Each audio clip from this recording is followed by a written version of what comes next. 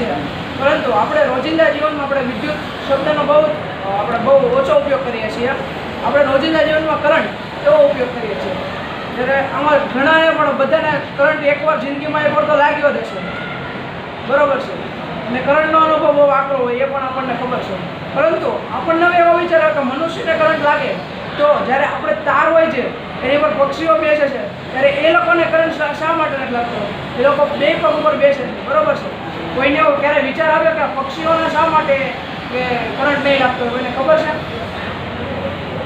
પસાર થતો હોય, એને ખબર, વિદ્યુત પ્રમાણે ટૂંકો ટૂંકા ટૂંકો માર્ગ અપનાવવાનો અપનાવવાની ફરજ છે.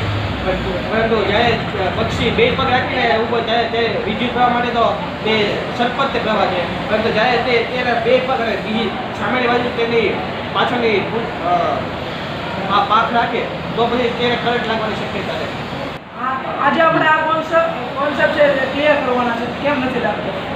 આપણે આઈની પાંચ છે, બરોબર છે? અહીંયા પક્ષી બેઠો વિદ્યુત પ્રવાહ આમ પસાર થતો હોય ને આ બાજુથી આમ આવતો હોય ત્યાં કામતા હોય, વિદ્યુત પ્રવાહ બરોબર છે? પક્ષી અહીંયા બેઠું, જો આ એક પક્ષીના પગ ખાલી એક ઓલા ઉપર જ છે. જો તેની પાંખ જરા પણ આને, આ બીજા ઓલાને અટી જશે ને, તો એ પક્ષીને આખો આમ મરી જશે આખો. બરોબર છે? એવું શા કારણે થાય છે? અહીંયાથી વિદ્યુત પ્રવાહ આવે છે. આ એના પગ અહીંયા બે અહીંયા વિદ્યુત પ્રવાહનો વિદ્યુત પ્રવાહ કેવું કરશે? કે જે તેનો સૌથી ટૂંકો માર્ગ હોય એ જ અપનાવશે.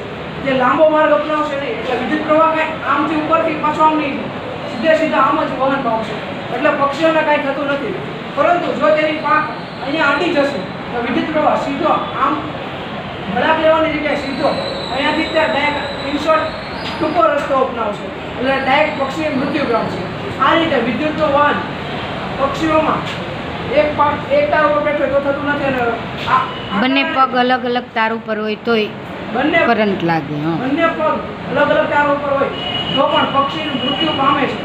આ રીતે એક તાર ઉપર બેઠેલા પક્ષીને કોઈ દિવસ કરંટ લાગતો નથી એટલે તે મૃત્યુ પામતું નથી. તો આ રીતે પક્ષીઓમાં વિદ્યુત પ્રવાહનું સરળતાથી એક તાર હવે આપણને આપણને પ્રશ્ન થાય કે એને કેમ ખબર પડે કે ચાલો એક તાર ઉપર બેસે? વિચાર કરો વિચારવા જેવી વાત કે નહીં?